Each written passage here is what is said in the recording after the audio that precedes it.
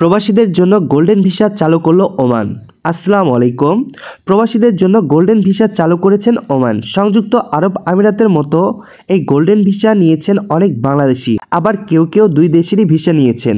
মূলত বিত্তবান বিদেশিদের আকৃষ্ট করে জ্ঞান বিজ্ঞান বিনোদন সমৃদ্ধ করতে দুই হাজার উনিশ সালে গোল্ডেন ভিসা চালু করে সংযুক্ত আরব আমিরাত। আমিরাতের মতো কয়েক মাস আগে একই ধরনের ভিসা চালু করেছেন মধ্যপ্রাচ্য আরেক দেশ ওমান। এই সুযোগ কাজে লাগাচ্ছেন প্রবাসী বাংলাদেশি ব্যবসায়ীরা। করোনার পরবর্তী সময়ে দুবাই এক্সপো ও বিশ্বকাপ ঘিরে সারা বিশ্বের মানুষ নজর এখন মধ্যপ্রাচ্য। এই সুযোগ Saudi Arab, Kuwait, Qatar, Bahrain এবং ওমানের ভিসার পদ্ধতি ব্যাপক পরিবর্তন আনা হয়েছে।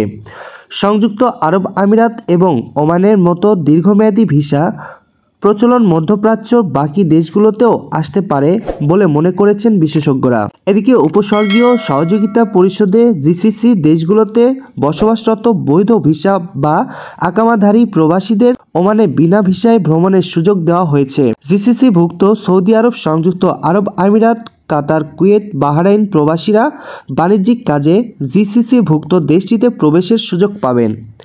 ধন্যবাদ সবাইকে। পরবর্তী খবরে আপডেট পেতে আমাদের সাথেই থাকুন।